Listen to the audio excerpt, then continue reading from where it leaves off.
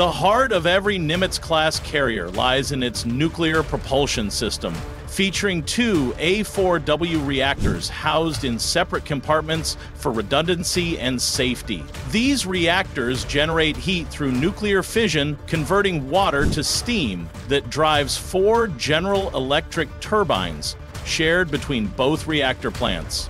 The turbine systems transfer power to four massive bronze propeller screws, each measuring 25 feet in diameter and weighing 66,000 pounds.